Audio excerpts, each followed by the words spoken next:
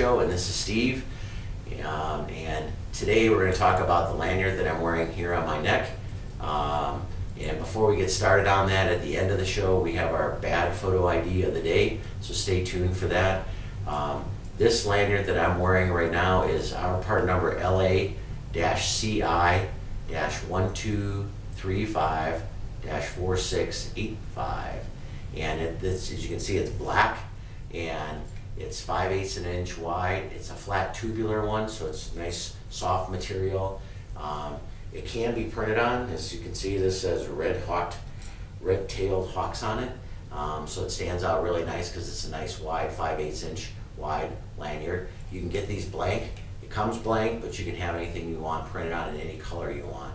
Um, it's 36 inches long. It has a detachable um, clip here, and this is nice. So in case you need to present the card to a reader, you don't have to take it off. It has a split ring connector, so the badge is not going to come off of this. It's a great secure way to attach a badge. Um, so simply take it off. If you have to swipe it through a reader or present it to a reader, then you just snap it back on.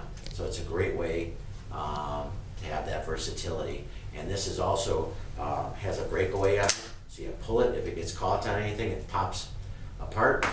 Simply snap it back together. Um, you don't want to get hurt, so that's why it has the breakaway on it. If it ever got caught in anything, it's not going to break your neck. It'll break away.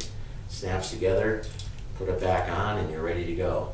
And this is made by a U.S. company to OSHA standards, and ID Edge has the best pricing in the in the industry. So give us a call. We can help you out with all your ID needs. Um, as promised, here's the bad photo ID of the day. And while you're looking at that shot, um, if you have any questions, um, submit them to us on our Facebook page. If we use them on the show, we'll send you a nice little gift.